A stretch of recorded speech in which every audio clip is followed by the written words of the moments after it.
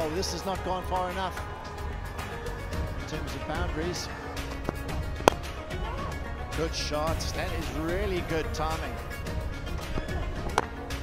That is, oh, I tell you, the Yorker is dug out of the bottom of his.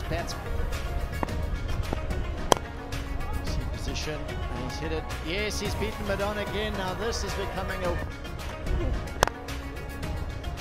Make it 53.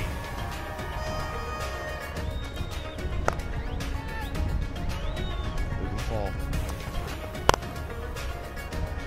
Oh, that was stumped. Even though there was a protection.